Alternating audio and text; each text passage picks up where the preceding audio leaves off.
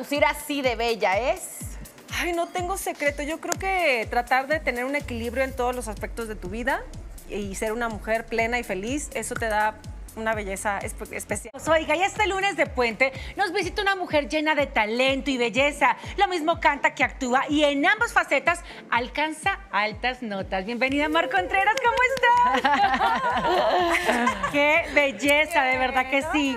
Oye, antes de que nos compartas obviamente lo que estás haciendo, queremos hacerte las siguientes preguntas, como un chismógrafo, ¿te parece? Me parece. Ok. De chiquita yo moría por el actor o cantante.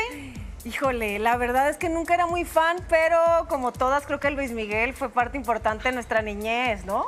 Sí. Programa favorito de chiquita. Chabelo. Sí. La canción que me pone de buenas es. Ah, La vida es una aventura. Es, es una canción eh, muy viejita, pero me pone muy de buenas. ¿Qué es lo que más te gusta de un hombre físicamente? Mm, su sonrisa. Ay, me eso es encanta. cierto. Oiga, la maternidad la defino como. Ay, un reto. Un reto en todos los aspectos, ¿no? La fama es.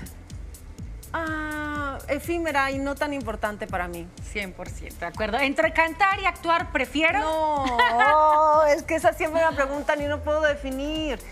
Me encanta actuar. Sí, actuar, cantar y actuar al mismo tiempo. Claro. Teatro musical, cine musical. El secreto para lucir así de bella es. Ay, no tengo secreto. Yo creo que tratar de tener un equilibrio en todos los aspectos de tu vida y ser una mujer plena y feliz, eso te da una belleza espe- especial. Totalmente. El matrimonio es.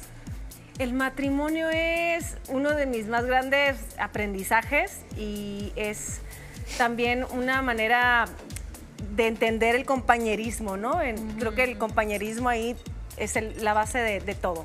¿Alguna experiencia paranormal que hayas vivido? Tengo, tengo una de muy chiquita. ¿Sí? Sí. A ver. Es rápida porque salí volando de una pick-up en un accidente. Y, y no voy a ser tan explícita, pero mi papá me estaba buscando en el pavimento, pues, ¿no? Tirada. Y resulta que venía un hombre cargándome. eh, y pues le caí en los brazos. Él estaba esperando un camión, un autobús. No. Sí, era un cruce de carretera donde era- esperabas el autobús. Tenías que estar aquí a mí. Y mi papá de pronto voltea, la niña está bien, ya sabes, ¿no? El estrés, ya venía la ambulancia y le dice esta persona, no, es que está bien, me cayó en el aire. O sea, él amortiguó el peso, o sea, mi, mi- El mi golpe, caída, ¿no? Mira, se me pone la piel Sí, chinita. mi papá siempre dice que fue, bueno, mi papá ya también, que en paz descanse, mi papá y mis papás me decían que era un ángel que, que Sí, me un salvado. Y sí, para Totalmente. mí fue un ángel. Oye, y hablando de temas paranormales, cuéntanos de esta obra que estás por estrenar. Sí, estoy muy contenta por haberme integrado a este proyecto, 222, una historia paranormal.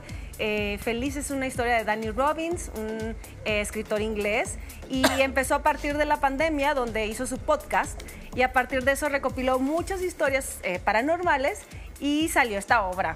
Oye, pero esta obra es un thriller que ya se montó en Londres, muy exitoso, por cierto, con actores también chonchos de primer nivel.